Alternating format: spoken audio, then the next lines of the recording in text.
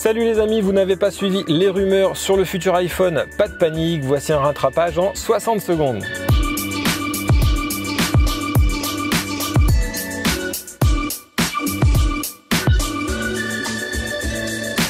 Et oui, c'est bientôt la fin du suspense. Le 12 septembre prochain, Apple devrait dévoiler son nouvel iPhone. Alors, on ne sait pas encore comment il va s'appeler, iPhone 8, X ou édition. En tout cas, selon les rumeurs les plus fiables, voici les nouveautés attendues un superbe écran OLED recouvrant la quasi-totalité du téléphone, la disparition du bouton Home, une caméra frontale avec capteur 3D pour la reconnaissance faciale, une caméra 4K 60 images secondes, la recharge sans fil, un processeur A11 et une version 512 Go.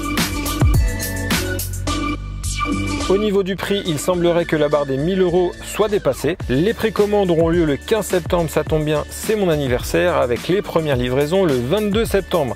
Si toutes ces nouveautés se confirment, il y a de grandes chances pour que je passe commande. Alors pour ne pas rater mes futures vidéos sur l'iPhone, abonnez-vous. Cela reste bien sûr des rumeurs. Rendez-vous mardi 12 septembre à 19h pour la présentation officielle. Moi je vous dis à bientôt pour une prochaine vidéo. Ciao